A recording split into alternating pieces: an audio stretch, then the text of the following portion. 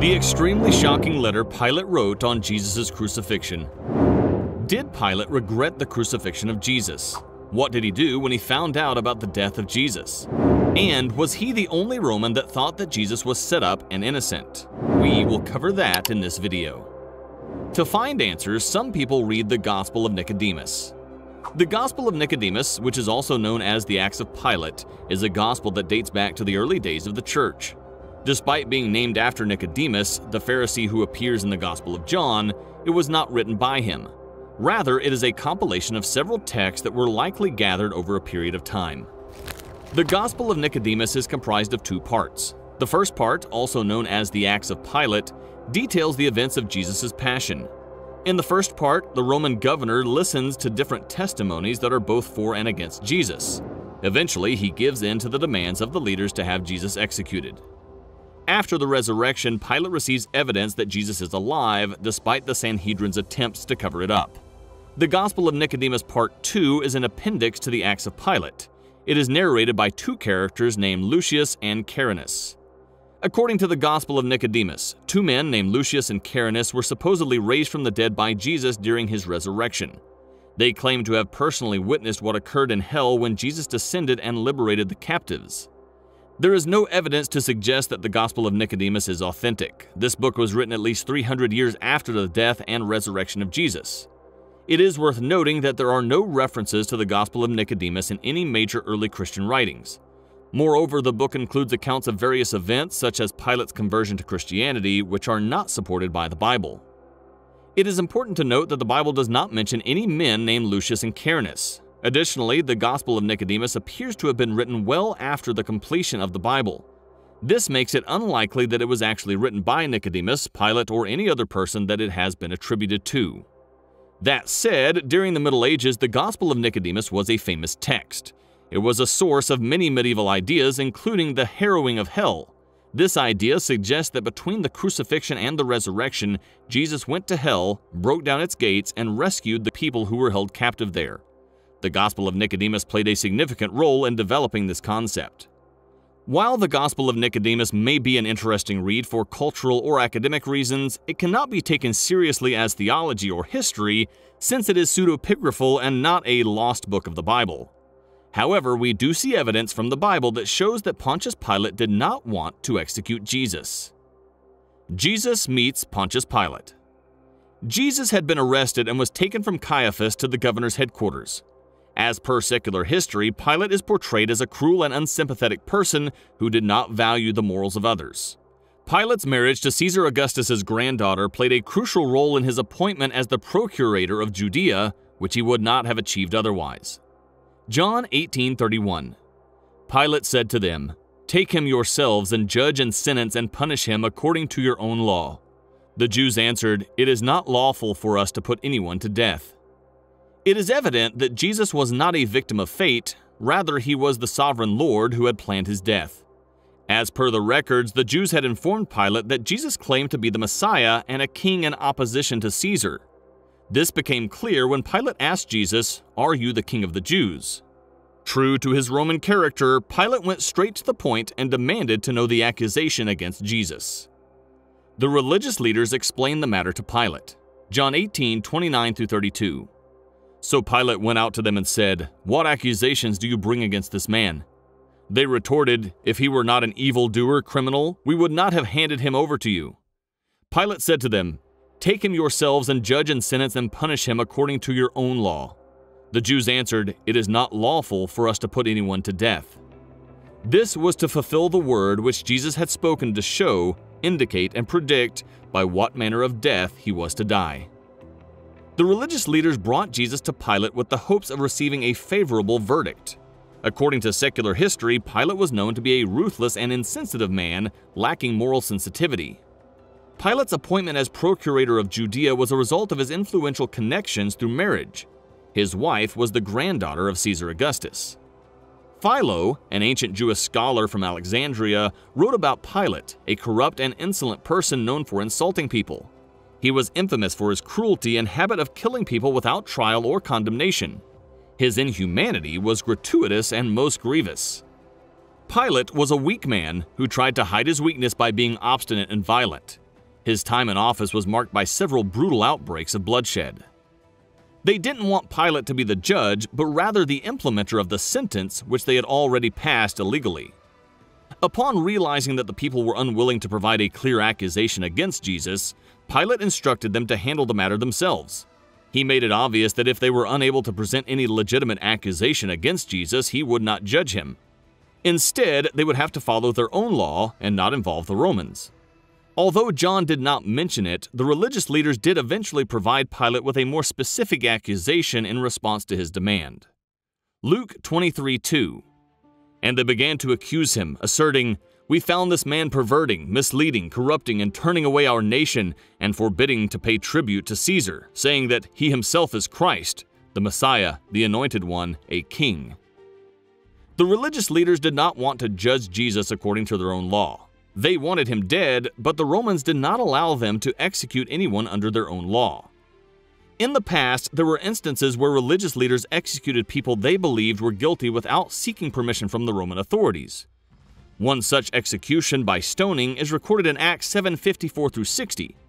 It was common for these leaders to choose stoning as the method of execution, it is believed that the religious leaders may have pushed for Jesus to be crucified to fulfill the curse mentioned in Deuteronomy 21 22 through 23. Deuteronomy 21 22 and 23. And if a man has committed a sin worthy of death, and he is put to death, and afterwards you hang him on a tree, his body shall not remain all night upon the tree, but you shall surely bury him in the same day, for a hanged man is accursed by God. Thus you shall not defile your land, which the Lord your God gives you for an inheritance. Pilate intended to transfer this problem to Herod since Jesus was from Galilee, which was under Herod's rule. However, Herod returned Jesus to Pilate, which is likely the start of the second appearance. We read, This was Pilate's first encounter with the man whom the religious leaders claimed was dangerous. However, Pilate's inquiry betrayed uncertainty. Pilate had witnessed several unruly revolutionaries who professed to be kings. Pilate had expected to meet a sullen or belligerent rebel but was instead met with the calm majesty of confident superiority. He could not reconcile the character of the prisoner with the charge brought against him. We read, What have you done? As a Roman, Pilate had no interest in Jewish spiritual or social beliefs. Nonetheless, he recognized that if the religious leaders demanded the execution of Jesus, then he must have committed some offense. Pilate sought to investigate the matter and discover what it was that Jesus had done. It is possible that Jesus could have provided an incredible answer to the question, What have you done? He was sinless and never did anything wrong against God or man. He performed miraculous healings, gave sight to the blind, calmed storms, walked on water, fed multitudes, defeated demons, and even raised the dead. His teachings were so clear and powerful that they astonished his listeners. He fearlessly confronted corruption and poured his life into a few men who were destined by God to change the world. He did not come to be served, but to serve and give his life as a ransom for many. It would have been wiser for Pilate to judge the prisoner based on his actions instead of questioning what he had done. Jesus explains his kingdom to Pilate. John 18:36 Jesus answered, My kingdom is not of this world. If my kingdom were of this world, my servants would be fighting so that I would not be handed over to the Jews. But as it is, my kingdom is not of this realm. It is possible to imagine that Pilate felt relieved and satisfied when he found out that Jesus' kingdom was not of this world. Pilate may have concluded that Rome had nothing to fear from Jesus and his kingdom. The Romans believed that they were knowledgeable about kingdoms and their power, they thought that the strength of a kingdom could be measured by its armies, navies, swords, and battles. However, Jesus knew that his kingdom, although not of this world, was more powerful than Rome and would continue to grow and influence even after Rome had faded away. We read, I find no fault in him at all. During the trial of Jesus, Pilate engaged in a conversation with the religious leaders who wished to put him to death. In the course of this conversation, Pilate made it abundantly clear that Jesus was not guilty of any crime. He went beyond stating that Jesus was not guilty of a crime deserving the death penalty, he found no fault in him at all. Pilate was fully aware of Jesus' innocence. John 18, 39 and 40. But it is your custom that I release one prisoner for you at the Passover. So shall I release for you the king of the Jews? Then they all shouted back again, Not him, not this man, but Barabbas. Now Barabbas was a robber. Judging that Jesus was innocent and different, Pilate hoped to free him through the custom of releasing a prisoner. Pilate asked the question to appeal to the crowd, hoping they would spare the man they had named as their own king from being crucified. Pilate hopes to satisfy the mob by having Jesus whipped and mocked. John 19:1 So Pilate then took Jesus and had him flogged. During the trial of Jesus, Pilate proclaimed that he found no wrongdoing in him. Despite this, he still ordered a severe and brutal punishment for a man whom he knew was innocent. Some people speculate that Pilate hoped to appease the angry mob by subjecting Jesus to scourging. Scourging was a punishment method with three purposes. It was used to punish prisoners, to obtain confessions of crimes from prisoners, and to weaken the victims in cases of crucifixion so that they would die more quickly on the cross. Pilate ordered a scourging of his prisoner in the hope that it would satisfy the crowd, not as part of the capital punishment or to elicit the truth. However, his decision was ill judged. It is remarkable that the Gospels only use one word to describe this horrific event without attempting to manipulate our emotions. The Gospel of Matthew states that Jesus was stripped of his clothes and given a reed to mock a royal scepter. The soldiers bowed before him, offering false homage and honor while also spitting on him. However, we have the option to do the opposite of what these soldiers did to Jesus. Instead of mocking and dishonoring him, we can honor and praise him. Let us be creative in devising ways to honor our king and offer him true homage, unlike the soldiers who only pretended to do so. Pilate, as a judge, had both the responsibility and reason to set Jesus free, declaring him innocent of any wrongdoing. He made five attempts to release Jesus, as we can learn from Luke 23 4, 15, 20, 22, and John 19, 4, 12, and 13. However, instead of setting him free, Jesus had to endure humiliation and brutality. Pilate presents Jesus to the crowd. John 19, 5 through 6. So Jesus came out wearing the thorny crown and purple cloak, and Pilate said to them, See, here is the man. When the chief priests and attendants guards saw him, they cried out, Crucify him! Crucify him! Pilate said to them, Take him yourselves and crucify him, for I find no fault, crime in him. Pilate urged the crowd to carefully ponder the suffering of the man presented before them. In a sense, Pilate spoke on behalf of God, who invites all of humanity to behold this man, the perfect man, the tested and approved ideal of all humanity. This is an invitation to witness the ultimate example of humanity in all its glory. Pilate believed that he could rescue Jesus by debasing him, Similarly, some individuals in modern times also try to do this by asserting that Jesus is not divine or that he was incorrect about certain things, in an effort to keep Jesus relevant in a progressive scientific era. However, such attempts are just as misguided as Pilate's actions. It is unclear how the crowd reacted to the situation, but it is possible that they may have felt a moment of sympathy for the strong and remarkable man involved. However, the religious leaders present immediately reacted with pure hatred towards God, screaming, Crucify him, crucify him. The crowd might have felt sorry for the prisoner, but the priests and their followers silenced any sympathy by shouting their hatred. Pilate gets afraid. John 19, 7 through 11. The Jews answered him, We have a law, and according to that law he should die, because he has claimed and made himself out to be the Son of God. So, when Pilate heard this said, he was more alarmed and awestricken and afraid than before. He went into the judgment hall again and said to Jesus, Where are you from? To what world do you belong? But Jesus did not answer him. So Pilate said to him, Will you not speak even to me? Do you not know that I have power, authority to release you, and I have power to crucify you? Jesus answered, You would not have any power or authority whatsoever against over me if it were not given you from above. For this reason, the sin and guilt of the one who delivered me over to you is greater. He was the more afraid. When Pilate was informed that Jesus had proclaimed himself as the Son of God, he did not react with anger or amusement. Instead, he was filled with an even greater fear than before. Even in his beaten, bloodied, and spat upon state, Pilate saw something in Jesus that made him consider the possibility that Jesus was not an ordinary man. The phrase more afraid could actually carry a superlative force, as often seen in New Testament Greek, and could be translated as exceedingly afraid.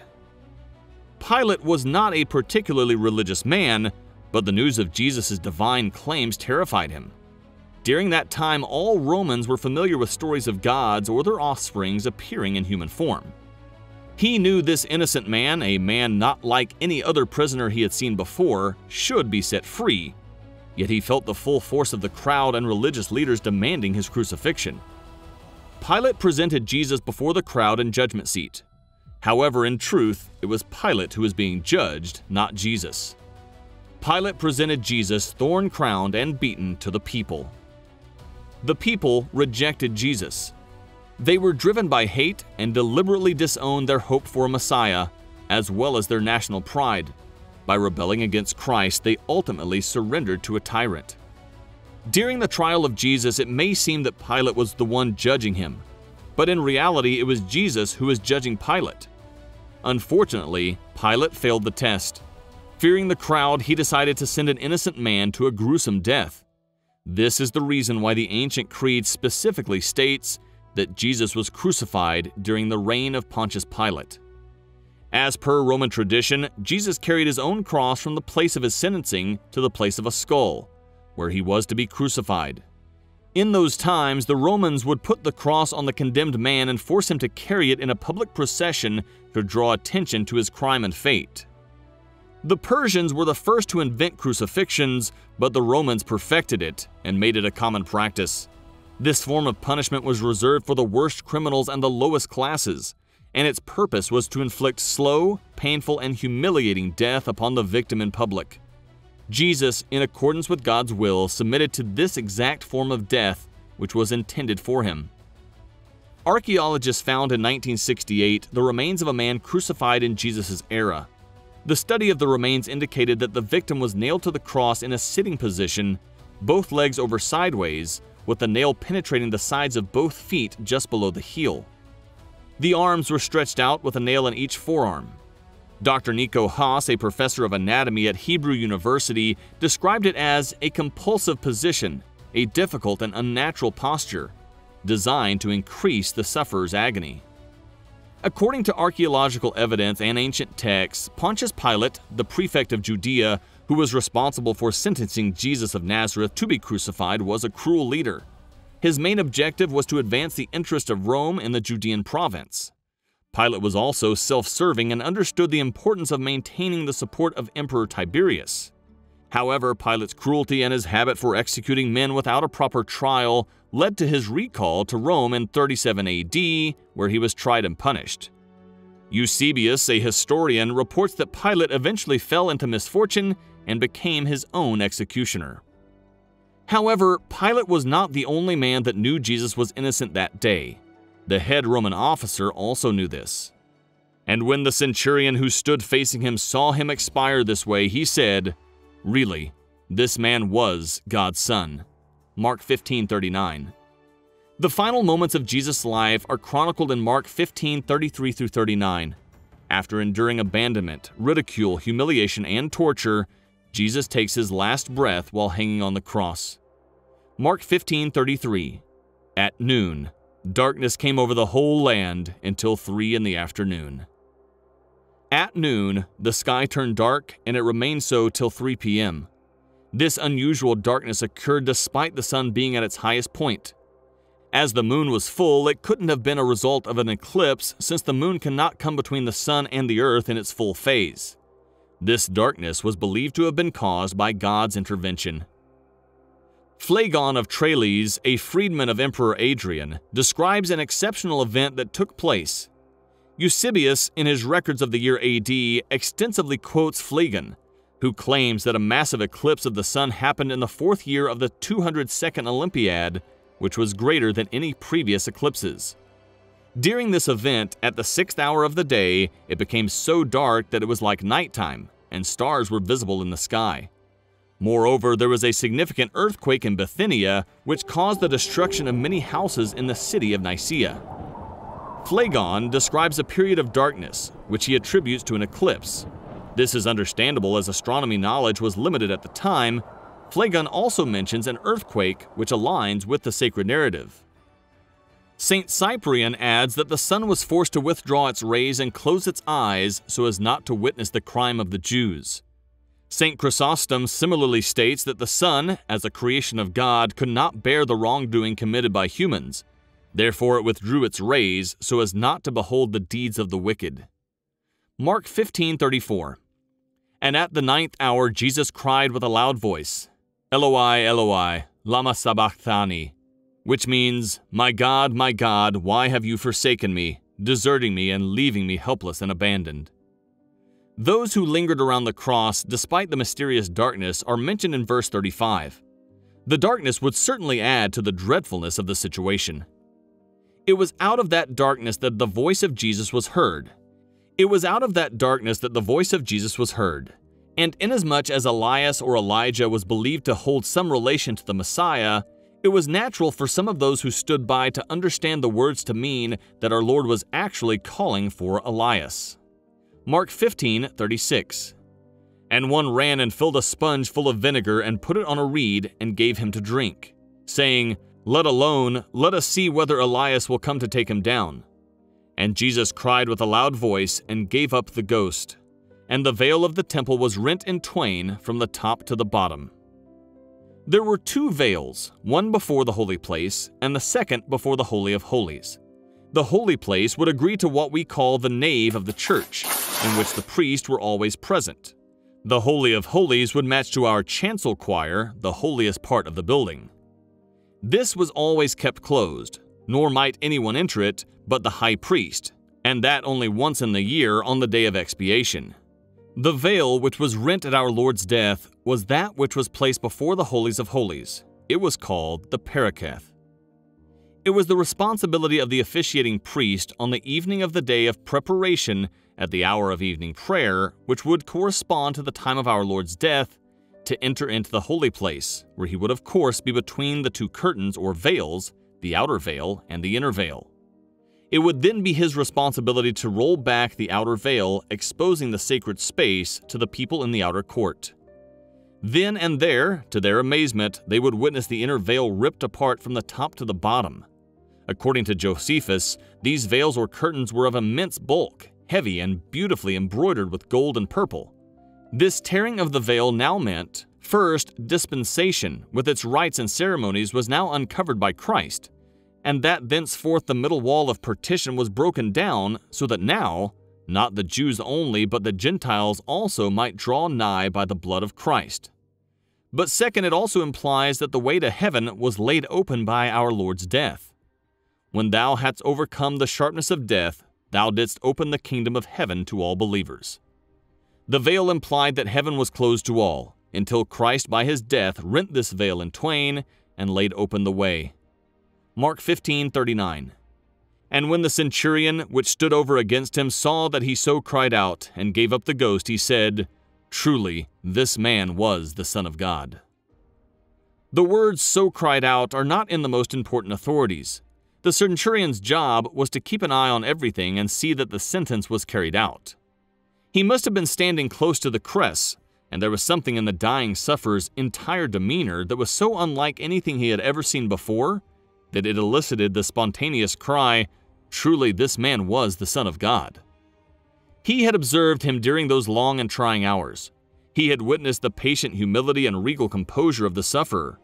He had listened intently to those words, which held such great significance for those who followed the Christian faith, that were spoken intermittently by the sufferer as he hung there. Finally, he heard a sudden, piercing cry that was so startling and unexpected that it startled him. It was only then that he could arrive at no other conclusion except that the sufferer was indeed the Son of God. In just a few verses, Mark conveys a lot of significant events. Among them, the Roman officer who admired Jesus after he died stands out. Jesus had a unique influence on his followers. Now, the centurion who oversaw Jesus' crucifixion had to remark that he was the Son of God. At the beginning of his ministry, Jesus kept his identity hidden, but now it was plain for everyone to see. As a commander, the centurion was in control of the soldiers who dealt with Jesus. Did he participate in the soldiers' taunting and beating of Jesus as they crowned him with thorns? It's uncertain. Perhaps he was too respectable for such behavior. Maybe he was the one who gave Simon of Cyrene the task of carrying Jesus' cross. Once they arrived at Golgotha, the place of the crucifixion, the nails were driven through Jesus' wrist and he was raised up the cross.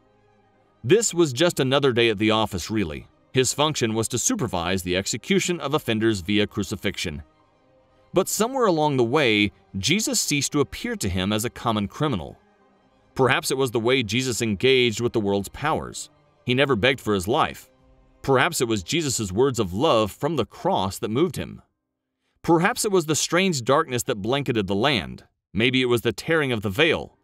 Alternatively, perhaps Jesus had imparted truth to this officer as they traveled down the road.